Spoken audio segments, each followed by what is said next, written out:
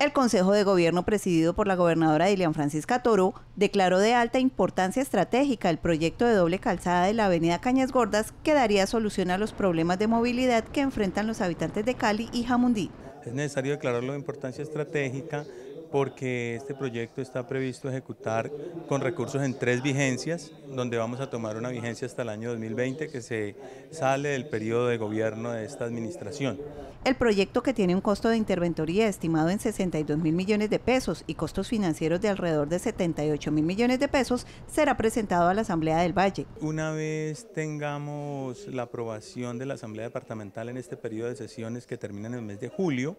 lo que nosotros haríamos, ya tenemos los diseños, tenemos los presupuestos, eh, haríamos los trámites eh, presupuestales con Hacienda e iniciaríamos el proceso contractual eh, finalizando esta vigencia. El proyecto de la doble calzada de la avenida Cañas Gordas comprende un tramo de 6 kilómetros desde el río Pance hasta la glorieta de Alfaguara, que además de doble calzada incluye ciclorrutas y andenes que mejorarían la velocidad del tránsito en este sector y mejorará las condiciones para los habitantes del sur de Cali y Jamundí.